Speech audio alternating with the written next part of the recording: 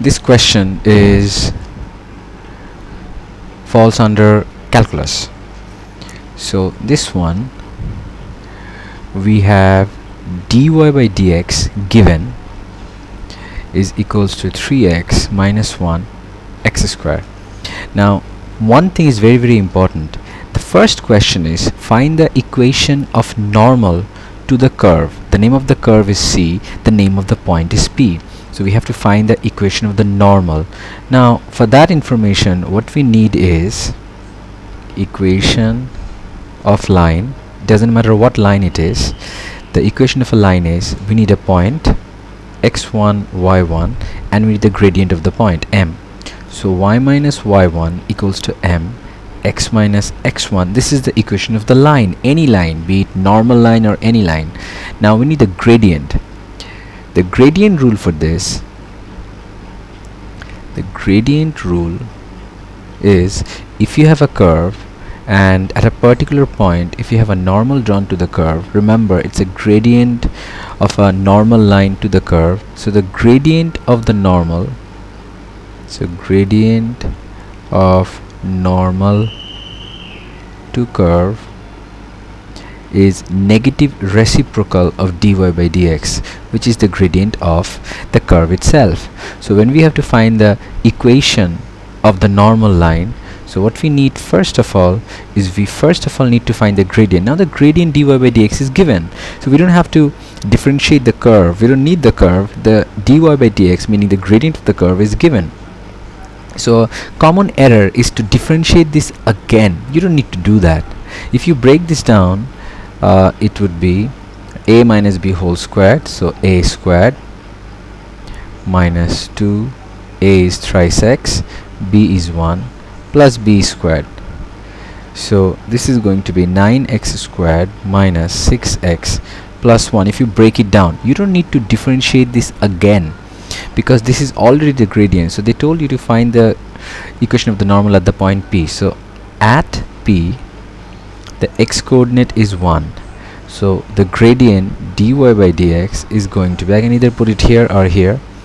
So 9 into 1 square minus 6 into 1 plus 1 and this is going to be 9 minus 6 plus 1 which is going to be 9 plus 1 10 10 minus 6 is going to be 4 so the gradient of the curve is 4 so we need to know the gradient of the normal. So gradient of the normal of the normal is equals to negative reciprocal minus 1 by 4 negative reciprocal. So this is the gradient of the normal. Now we know the point P. So we need a point P. So the point P is the point where the normal is on the curve. So we know the point we know the gradient. We can easily find the equation of the normal. So equation of normal line y minus y1 the y coordinate of the point P is 4 the y coordinate is 4 and the x coordinate is 1 so y minus 4 equals to m which is minus 1 by 4 x minus x coordinate is 1 so if you cross multiply 4 into y minus 4 I'm cross multiplying you always need integer coefficient. So minus 1 into x is minus x minus 1 into minus 1 is plus 1 so this would be 4y minus 4 4 is a 16 equals to minus x plus 1 we can simplify it in any way we want. We can write it as 4y plus x equals to 16 plus 1 17 unless they mention anything as the format we can write it in any way but it is recommended that you write it as integer coefficient instead of fraction. So this was the first question. So the next one is find the equation of the curve now the name of the curve is capital letter C. It's not a point it's the name of the curve.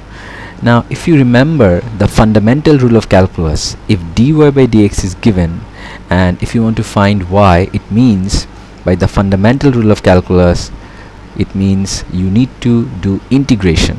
So remember calculus the fundamental rule or law of calculus is integration this thing is the opposite of differentiation.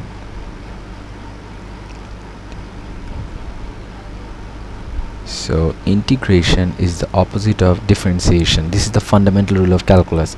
So if you have dy by dx given and if you integrate that that is equals to y. Similarly if you have f prime x given same as dy by dx if you integrate that you'll get fx. This is the fundamental rule of calculus. Now in our question it is given that dy by dx is 3x minus 1 whole squared and you have to find the equation of the curve meaning you have to find y. So in order to do that we have to start with dy by dx equals to 3x minus 1 whole squared. Therefore y equals to integration of 3x minus 1 whole squared dx. Now if you break this down before integrating if you just simplify this it would be 9x squared minus 6x plus 1 just breaking it down as a minus b whole squared. Now integration. So the basics of integration says if you integrate something the power will increase by 1 and you write that below. So 9 would remain 9 so x squared would be x cubed by 3 minus 6 would be 6 it would be 6 x squared by 2 and 1 would become x. And remember the constant so this would cancel 3 3s are 9 this would cancel uh, 2 3s are 6 so now we have to find the value of c. In order to find the value of c now in order to find the value of c we need a point. Now the point is given. Remember the point p at p we know that x equals to 1 and y equals to 4 this coordinate is given. So if you put it here so at y if you put 4 and at x if you put 1 so 1 cubed minus 3 1 squared plus 1 plus c. So it would be 4 equals to 3 minus 3 plus 1 plus c. This 3 this 3 cancels off and becomes 0 and if you bring this 1 to the other side it would be 4 minus 1 3 so c would be equals to 3 so now you can write it out as therefore y equals to 3x cubed minus 3x squared plus x plus c. This is the curve and that's what they asked for. So the next one is question number c. Now question number c this question is they're mentioning that show that there is no point on the curve such that the tangent is parallel to the line this. Now let's go step by step. They're saying the tangent is parallel to the line y equals to 1 minus 2x now gradient of this line in the format of point intercept form so the gradient of this line is minus 2 the coefficient of x. So the first thing that we can write here let me move a bit here. So question number C. The first thing we can write gradient of line equals to minus 2 this is the first information. The next information that we have is the tangent is parallel to this line. So this to this line the gradient of the tangent they have to be the same because parallel line have the same gradient. So we can say gradient of tangent is also equals to minus 2 since they are parallel. So there is a rule there is a gradient rule where we say gradient rule if two lines are parallel like this then their gradients are equal m1 equals to m2 and there is another rule y equals to mx plus c. If you can write the equation in this format in as the intercept slope format then this coefficient of x is the gradient. So from this rule we can say that the gradient of that line is minus 2 by looking at the equation. And by knowing that the tangent is parallel to this line so we can say that this is going to be minus 2 as well. So if you want to know what it looks like it looks something like this. Uh, suppose we have a line here and there is a curve somewhere around here and this tangent is parallel to this curve. Let me it's not that good. Let me redraw it. Suppose you have a you have a curve here and you have a tangent here and there is another line here parallel to that tangent. So this tangent is parallel to this line. This line has a gradient minus 2 so this tangent will also have a gradient of minus 2 these two lines are parallel. Now remember another rule that gradient rule. Now if you have a tangent to a curve then the gradient rule says this gradient is equals to dy by dx for tangents. And you also know that the gradient of a curve is dy by dx. So now the point is once we know that the tangent has gradient minus 2 so and we also know that this tangent and this curve has the same gradient so then we can write therefore gradient of curve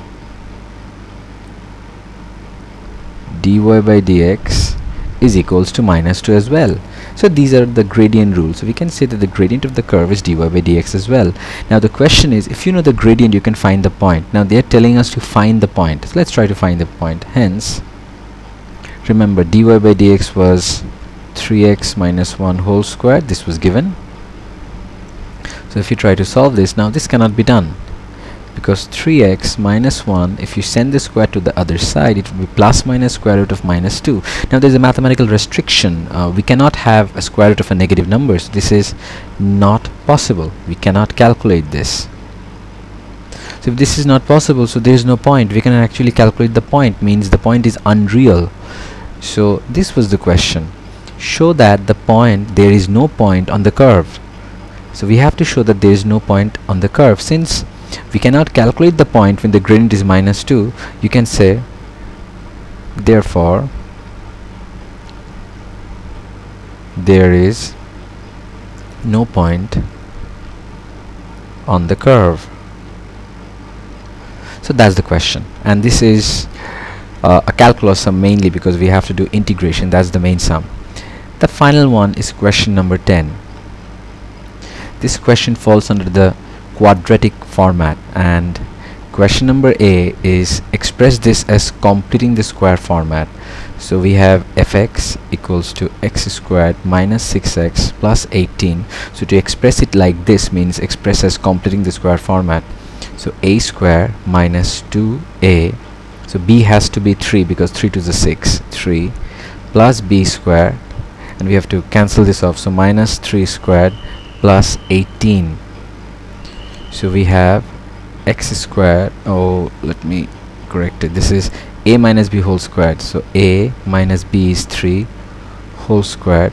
This would be minus 9 and this would be plus 18 this would be a minus 3 a minus 3 whole squared x minus 3 whole squared. 19 minus 8 is plus 9 so this is completing the square format. Now the question was after that we have to do the sketching so let me do b here. It will be convenient so I can compare it. Now in order to sketch so we need to know first of all where does it cut the y-axis where does it cut the x-axis and we have to know where does it turning where the turning point is. Now remember one thing about turning point. If you have completing the square format suppose p x minus q whole squared plus r you have to remember then the turning point then the turning point can easily be determined by looking at it. So the x coordinate would be the opposite of what we have with x. So minus q means q and the y coordinate would be same as before. So q r. Now if it was plus this would be minus qr so if this was plus it would be minus q and r would be the same. So the x coordinate is reversed and the value of the y coordinate is like that. So we can do the sketching very easily here. So first we need to know where this got the x-axis. So at x-axis y equals to 0 so we can now use this. So this is x minus 3 whole squared plus 9 equals to 0 of course we could have used this format but since we have expressed it in this format it is easier and simpler to do it in this format. It's much more easier. So this is going to be x minus 3 whole squared equals to minus 9 therefore x minus 3 plus minus square root of minus 9 now this is not possible we have seen this before. Square root of a negative number is not possible. So it means it doesn't have any values of x. It means it doesn't cut at the x-axis. Now y-axis. At y-axis x equals to 0 so y equals to now this whole thing. If you put x equals to 0 so 0 minus 3 whole squared plus 9 so it is going to be minus 3 whole squared plus 9 this would be 9 plus 9 equals to 18 so it cuts at the y-axis 0 comma 18 now the turning point.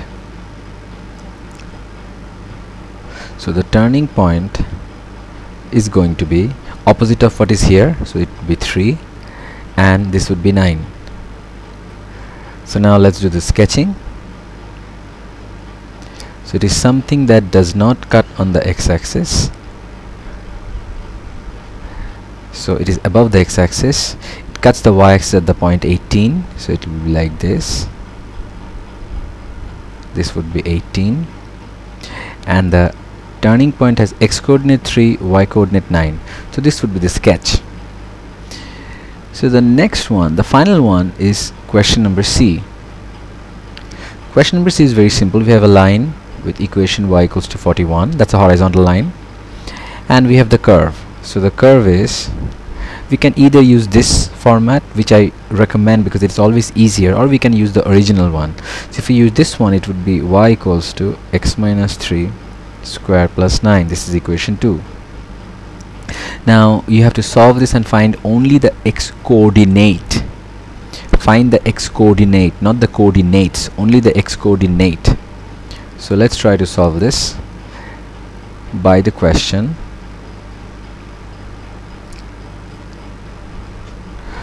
uh, x minus 3 whole squared plus 9 equals to 41 this would be x minus 3 whole squared equals to 41 minus 9 41 minus 9 is going to be uh, uh, 31 32 so this would be 32 so therefore x minus 3 square root plus minus 32 square root 32 therefore x would be equals to 3 plus minus square root of 32 now we need to simplify this further because in the question it was said find plus and it has to be square root 2 so how can we write as this one as so 3 plus minus square root of 32 32 is uh, 8 4 is 32 so we can write it as 4 as 2 square into 8 is 4 to the 8 so 2 square into 2 so we want to write it as square so it can be 3 plus minus. If you bring 2 square outside the square root it would be 2 if you bring this 2 square outside the square it would be 2 so 2 to the 4 square root of 32 so the answer should be the plus 1 so the x coordinate is 3 plus 4 square root of 2 so this is the answer. So let me remind you it is very very important to be familiar with the structure. So you should know what to expect and you should know how to answer that. And it is very very important to have a clear understanding of what questions would be given in the exam. And for that the syllabus is extremely important